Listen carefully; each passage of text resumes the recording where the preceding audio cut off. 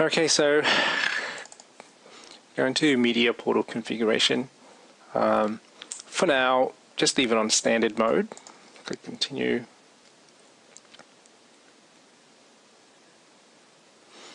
Let it boot up. Okay, so this is the uh, media portal configuration. So we'll go through this uh, as quickly as we can.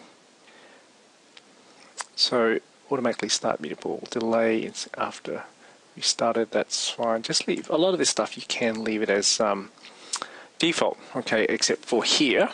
See how it says start media portal in full screen mode. Yes, that's what you want. Um, use alternative splash screen. Only even started in full screen mode.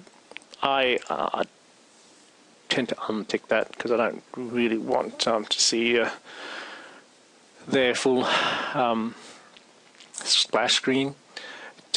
Keep media portal always on top. Hide taskbar and full screen. Auto start media portal on Windows setup startup. The only other thing I do is um, leave those on apply workaround fix media I tick that and restart media on resume avoid starting with NVIDIA because I use an NVIDIA uh, video card so they're, they're the ones that you kind of want to once you get it all set up you kind of want to um, have ticked. Okay? So for now just to test it what I'm going to do is I'm going to untick um, that and untick that so that we can have window the portal media portal running in a window mode so we can check and test. Okay, so we'll come back at the end and um, tick those again.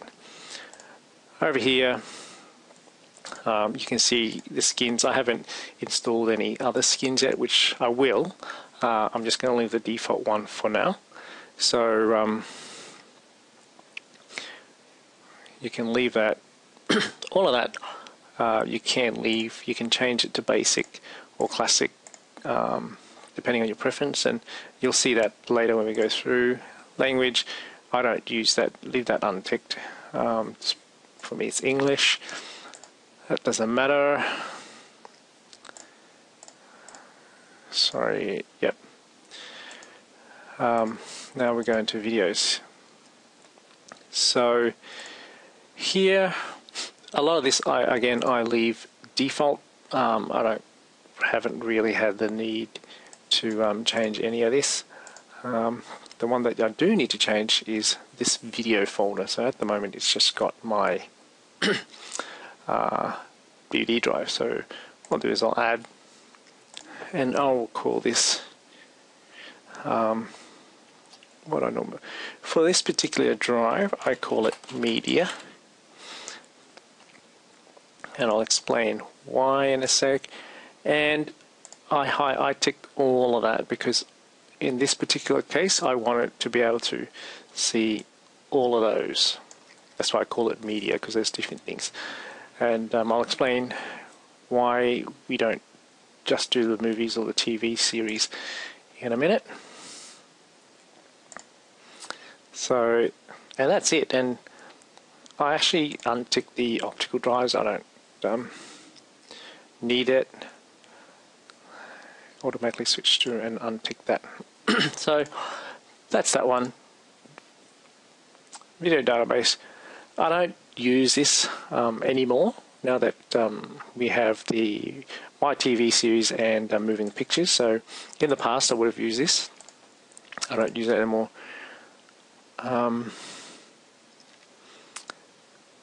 use 5.1 audio playback for I don't worry about that I can just I just leave that and um, it's a bit of trial and error but you can come back to that later. DVD um, that's fine. Okay so TV um, a lot of this you can just leave default. So except in here TV server. This is the same computer, so the host name you can either put in the IP address, which I normally do. Um, I don't need that. That's more for a um, TV client settings, and that's pretty much it. I don't use any of these other ones. TV zoom, you can actually set it to default to um, any of those. You can pretty see it's pretty pretty um, straightforward. You can self-explanatory as well. So a lot of that I don't bother with. The only thing I need to do is make sure I tick and I change the path for uh, my music, which is under my. It's actually under my audio. I have a lot of um, audio that I listen to. So again, um, I don't really bother with any of these. I mean, you can go through and uh, fill them out if you want. Um, I don't use this very often either.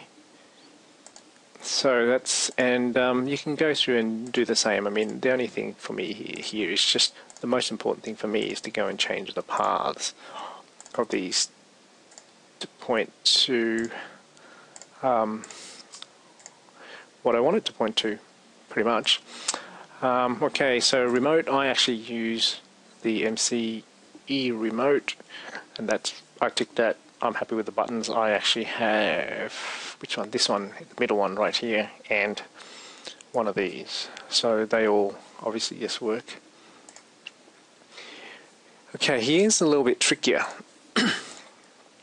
um, oh, one of the things we haven't done is we haven't installed the codec pack. But if you want to, just leave everything as default. Um, most it should just work it should just work okay.